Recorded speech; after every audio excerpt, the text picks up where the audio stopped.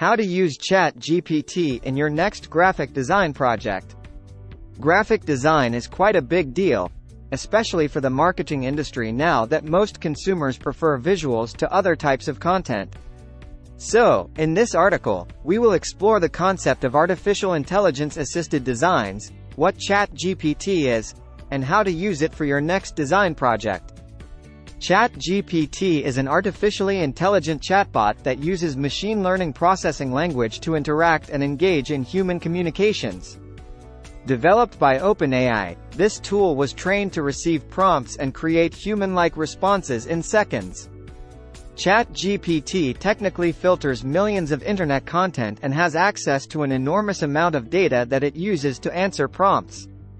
Interestingly, this AI bot finds practical applications in various niches and is used by content creators, coders, marketers, and brand owners to create detailed content and briefs or generate answers.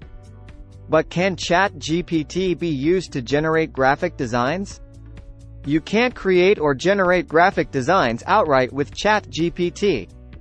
Although OpenAI released a new update that ensures you can interact with the tool using images, ChatGPT still can't work as a graphic design generator.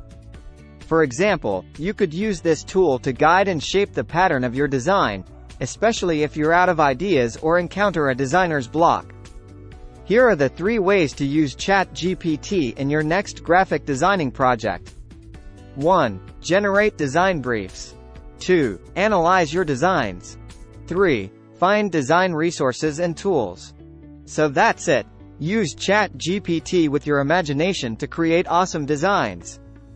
Read the full blog post for more detailed information at newhorizons123.com.